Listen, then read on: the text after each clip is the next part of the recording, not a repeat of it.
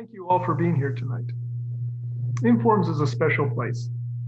It enables each and every one of us to advance professionally, but also contribute to the greater good. And that's what service is really all about. I've heard it said that service is the price we pay for our place on this earth. And I believe that's true.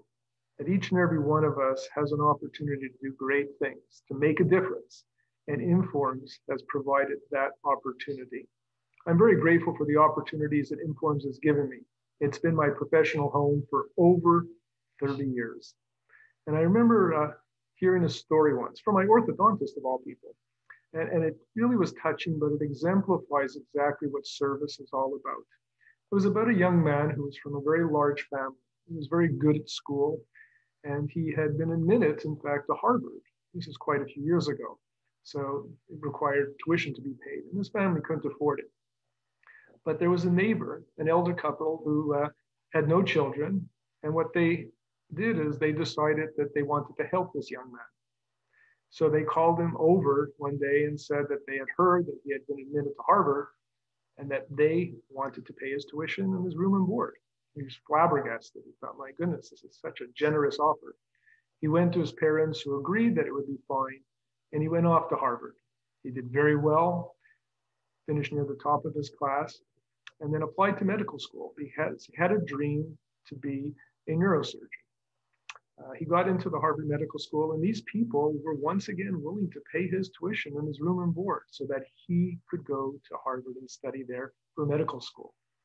He graduated, eventually, he did a fellowship, his residency, and became a very successful neurosurgeon. He kept in touch with this, this couple, and he shared with them all the successes he had had.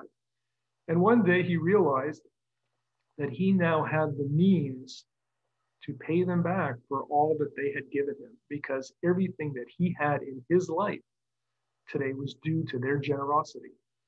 So he went over to see them. They were really quite old at this point, And he explained to them how grateful he was for everything that they had done for him and that he wanted to literally write him them a check and to pay them back for all what they had done for him.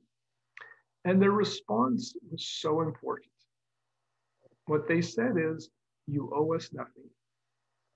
All that we ask is that at some point in the future, there will be an opportunity for you to help another person, and that everything that you feel that you owe us, we ask that you give to them. And that exemplifies the spirit of service that we do in Informs. We're always passing it forward to other people, to giving them opportunities that we were given. When I first became involved in Informs over 30 years ago, I was just starting out in my career. I'd been a graduate student, went to a few conferences, and there were many people, the giants in the field, who I stood on their shoulders because I could not see without them.